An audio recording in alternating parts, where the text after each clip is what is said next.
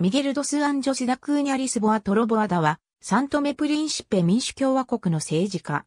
同国首相、同国大統領を歴任した。サントメ市に生まれ、アンゴラの中学校に通い、ポルトガルのリスボン大学で法律を学んだ。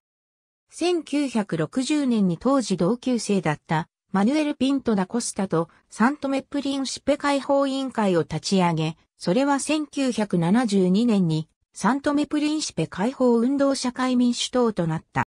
委員会はガボンに本部を置き、トロボアダは1961年から1975年まで外務局長を務め上げた。1972年にはアフリカ統一機構から MLSTP の承認を得るため尽力した。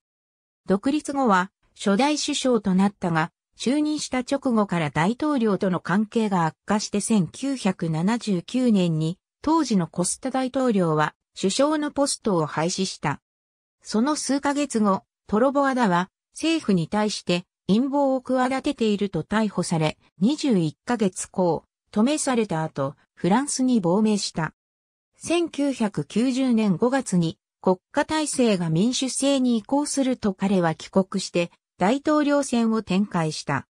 1991年、トロボアダは同国初の民選大統領に就任し、1996年に再選された。彼が大統領選に立候補した際には無所属だったが、一期目の終わり頃に独立民主行動という新政党を結成した。また、彼の政府は1995年8月15日から8月21日の間クーデターにより短期間打倒された。